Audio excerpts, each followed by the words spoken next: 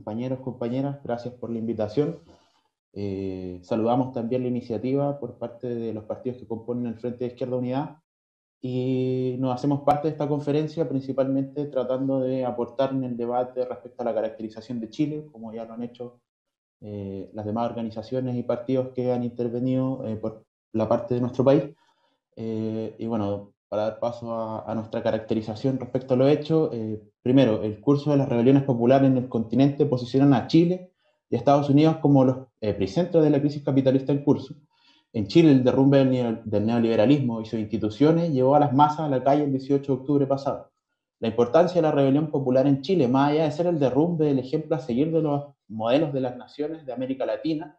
eh, en términos de los países eh, subdesarrollados, es un ejemplo a seguir para el curso de las, demás, rebeliones en América Latina. El desarrollo de los acontecimientos ha dejado aprendizajes importantísimos. Por ejemplo, el fracaso de una tentativa temprana de armar un frente de partidos de izquierda democratizante, como fue el derrumbe del Frente Amplio el año pasado.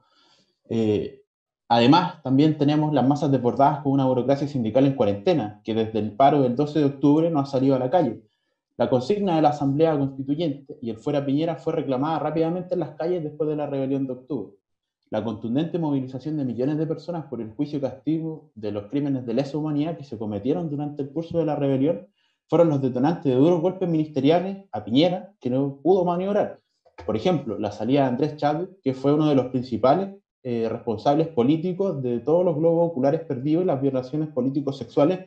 que ocurrieron después del 18 de octubre. Aún así, con esta importante vigorosidad en términos de la rebelión popular, no se ha logrado concluir, los objetivos que se ha propuesto.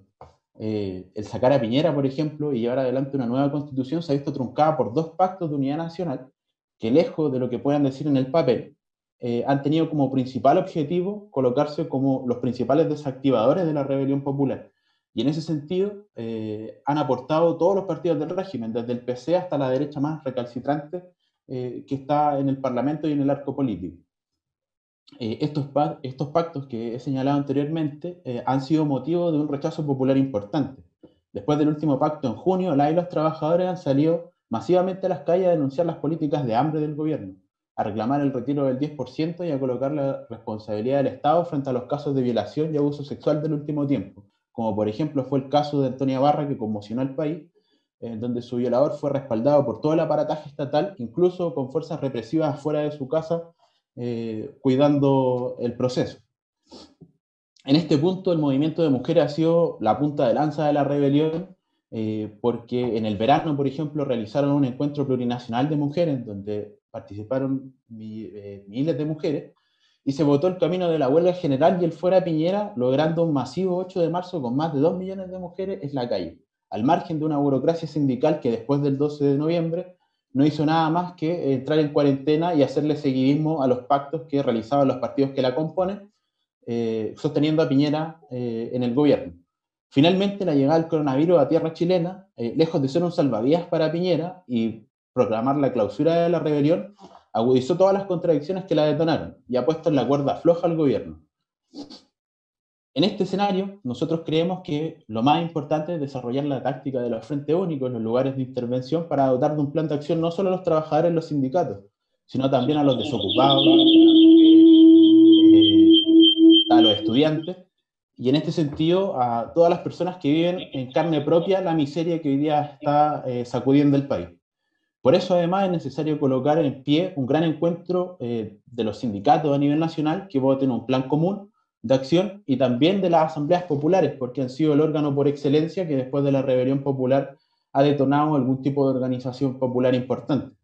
Eh, en este sentido, es necesario levantar la independencia política frente a las, sindicales, a las corrientes sindicales eh, burocráticas